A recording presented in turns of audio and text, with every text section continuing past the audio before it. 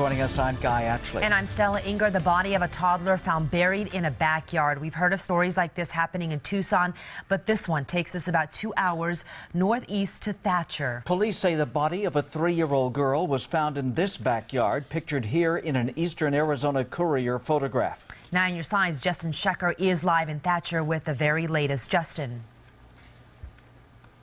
Uh, guys, Stella, good evening to you. The Thatcher Police Department is investigating the discovery of the young girl's body in this backyard behind me as a possible homicide. The local newspaper here, the Eastern Arizona Courier, reports authorities only learned the girl was missing since March 2012, just last week. Now, let's show you, according to the newspaper, the suspected mother, 28 year old Anna Marie Sanchez, and her boyfriend, 23 year old Joshua Cisneros, are being investigated as persons of interest. These are the booking photos at the Graham County Jail from unrelated charges. Now, back out here live, this is the spot in the backyard where authorities recovered the body yesterday.